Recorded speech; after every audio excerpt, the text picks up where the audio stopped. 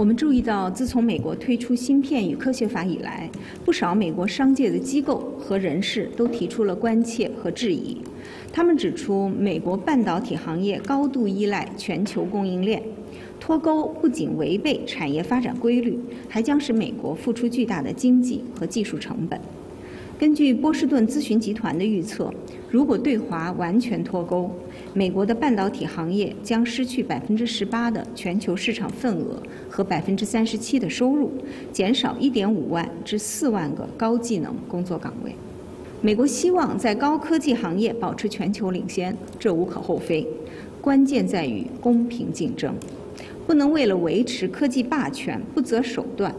不能剥夺其他国家的发展权利。更不应当为了一己私利破坏全球产供链，让本已经非常脆弱的世界经济雪上加霜。我还想强调的是，中国的发展始终建立在自身力量的基点上。从两弹一星到航载人航天、量子通信、北斗导航，事实已经证明，限制、打压阻挡不了中国的发展。只会增强中国自立自强、科技创新的决心和能力。